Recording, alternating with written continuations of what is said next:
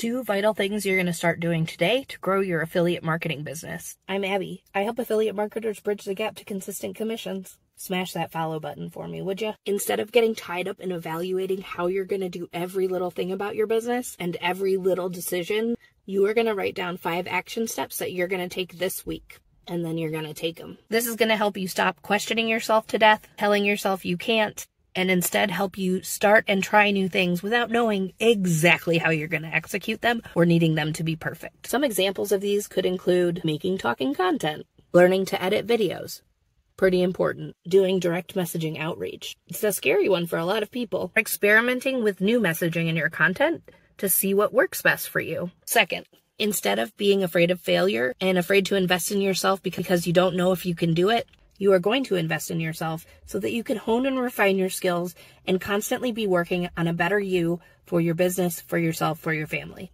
That does not always mean you have to spend thousands. Do not get me wrong here, but a couple hundred dollars here, $500 there, $50 here, $100 there can help you get a much more solid foundation than just trying to do it on your own. Once you have a better grasp on what it's going to take to build your business, I do suggest investing a larger amount in a course and mentorship program that's actually going to teach you all the things.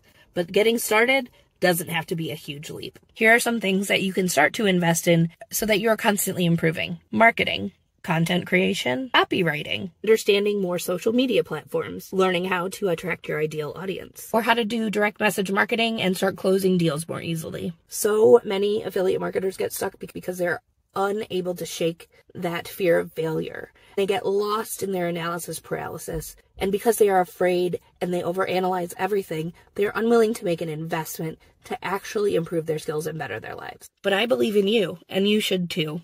Take little steps every single day to build a better, stronger, more authentic you and show up more authentically in your business. And hop into my Facebook group. You can get to it on my profile where I can help you one on one.